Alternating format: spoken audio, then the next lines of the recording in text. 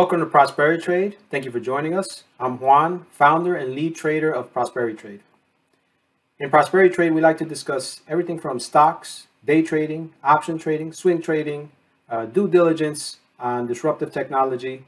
But for today's lecture and series, we're going to be discussing Stocks 101 or Introduction to Stocks. Or is that the name? What's the name? Beginner uh, stocks for beginners. Stocks for the beginners. Uh, stocks for beginners. Uh, he came up with the name. So this is the first series of Stocks for Beginners. Uh, our first guest, special guest, is Ismael Valdes. He's our first special guest, and he's also my son. Is that right?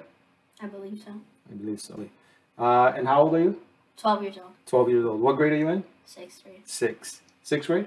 Six, yeah. Are you going to seventh? Yeah. Seven, okay. So our goal is to help Ismael understand what a stock is, and also anybody watching the video learn what a stock is. Um, we're going to have multiple uh, videos. We'll talk about what a stock is, how to purchase a stock, uh, platforms to use, and we're going to keep it real simple. So, Ismael, do you know what a stock is? Uh, I'm, I don't know what a stock is. You don't know what a stock is. Okay, so we're going to watch a quick video discussing what a stock is. Uh, it's a short video, and at the end, we'll discuss what a stock is. Do you own stock, by the way? Uh, yeah, I actually do. You own stock. Okay, what stock do you own?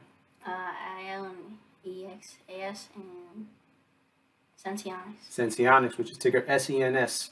If they want to learn about those two stocks, where can they go? to the YouTube, our YouTube page. Our YouTube Prosperity page, Trade. Prosperitrade. Yes, we did our due diligence on that stock. Okay, so let's watch the video. Welcome to A Simple Guide to Stocks presented by Prosperitrade. Me, Ismael. Ismael is looking to start a business. He finds a store, does some research, and locates where to buy the store. Unfortunately, the store cost $100,000. Ismael only has $25,000. What will he do? He decides to find investors. He finds three investors, presents his idea,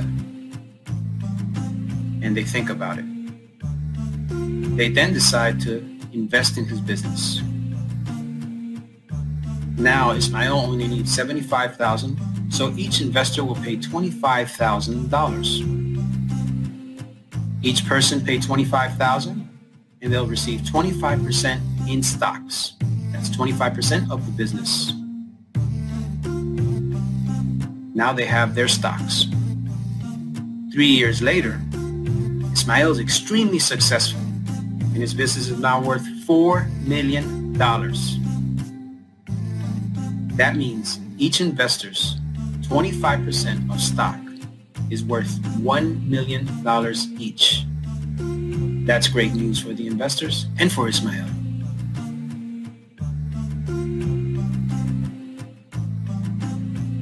Thank you for joining us.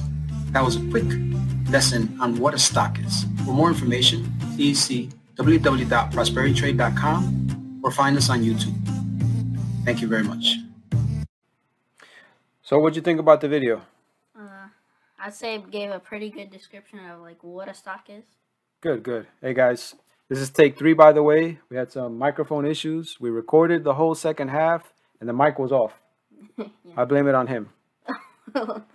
Okay, so in the video, you started a company, right? How much did the company cost? Hundred thousand. A hundred thousand dollars.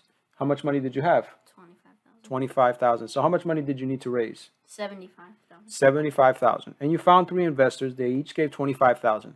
Now let's just say your company, okay, was divided in by let's just say a hundred shares, right? Yeah.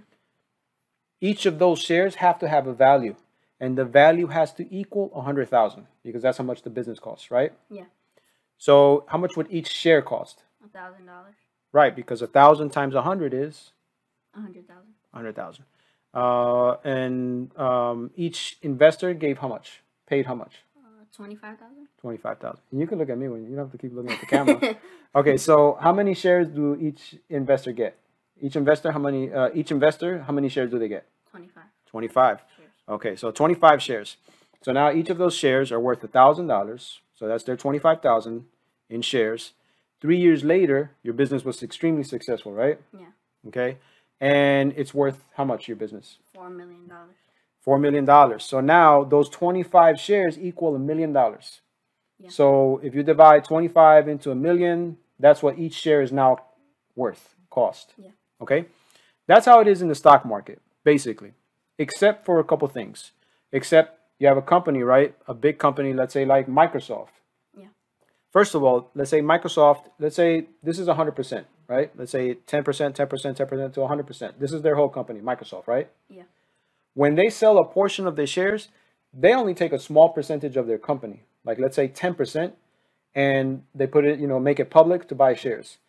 The other percentage you won't be able to buy, right? So they only take a small part. Your example was 75% of the company, but this is like in, in real companies, they'll take a small percentage of their company and they sell it publicly to raise money. And then there's 10% of that company, it's millions and millions of shares. Yeah.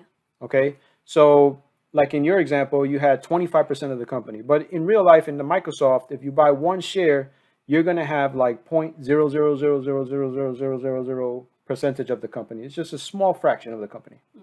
That's how the stock market works. So, um, in your example, you, you said you own stock, right? Yeah. What was the stock ticker? Uh, EXAS. EXAS. So when we bought EXAS for you, right? Our goal is that when you go to college, and you're going to go to college, right? Yeah. Okay. What do you want to study, by the way? Uh, what was the brain one? The brain one is neurosurgeon. Yeah, neurosurgeon. Oh, you got to learn the name of it first. Okay, so so hopefully, you know, by that time, let's say EXAS, we bought it at $120 a share. Yeah. Okay. Let's say we bought you 10 shares, right? Right now it's trading at 128. So that means you made profit of $8 on each share, which is what? Eight Eighty times. eighty dollars. You made $80. We're hoping maybe by the time you get to college, it's trading at 400, 500, right? So that's why you, you know, you buy multiple companies that you believe in and you hope that in 10 years, five years, the, the value of that company has doubled or tripled. Okay, so um, that's pretty much it in a nutshell for stocks. You buy a stock that you believe in, right? You do your due diligence, meaning you take a deep dive into the company, into the management, what their business is, their financials, are they in debt, are they making, are they profitable? Do they have potential to be around in the next 5, 10, 15 years, right? There's some stocks that you know are going to be around for a long time, like Microsoft, right? What what's another company that you think is going to be around for a long time? Amazon. Amazon. Amazon is all day, you know, people are ordering stuff. Each of those shares are like 3000 something dollars just for one share of Amazon. Um, so those are big companies, Amazon, Walmart, that are going to be around for a long time. So when you choose a company, you want a company that's like that, either one that's well established and you want to hold for a long time, or a company that's up and coming, right? Because you can also lose money, right? So what happens if the value of the company goes down and the share price goes down? Then you what? You lose your money. You lose money, right? You can lose a lot of money.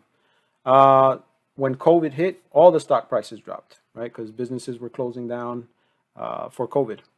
So that's pretty much it. So now that we've discussed that, we've watched the video. How do you understand what a stock is? What is a stock? Basically, um, you could buy or a small percentage of a company, and if the stock price goes up, you can make money, but you could also lose money if it goes down and the business isn't doing good. Right. So you have to do your what? Uh, due diligence. Due diligence, right? That's a key word. And if the stock price keeps going up and you feel confident that that price is going to go up, we say that, hey, you know, we're bullish on this stock, right? And a good way to remember it is like the bull. Which way do the horns point? Up. Up. So if someone, if you hear somebody say, hey, I'm bullish on this stock, that means they feel like it's going to continue to go up. Um, and actually, that's what the oncologist said. He's a doctor. When we talked about EXAS, uh, which is a company that monitors and screens for cancer, the oncologist himself said, I'm bullish in this stock. I feel like the price is going to go up. I feel like it's a good company. Uh, and that's it. You have any questions?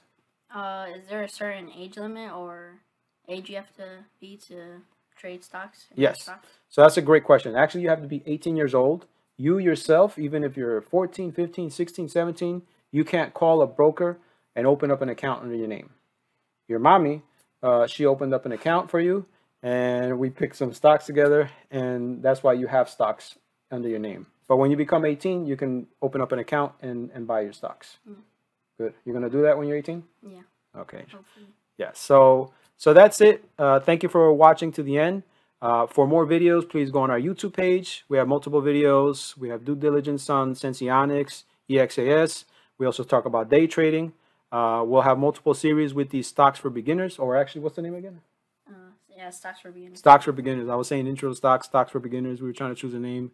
He's, he likes stocks for beginners, so that's what we're going to stick with. And thanks again to our special guest for coming. Thank you for having me. Oh, no problem. Where are you going afterwards? Living room. Living room? Okay, what's going on out there? TV. TV, okay, good, good. Okay, so any questions, uh, please post them in the comments. Please hit like, subscribe, and if you want any due diligence on a particular stock, please just put it in the comment and we'll be more than happy to respond. Thank you for joining us.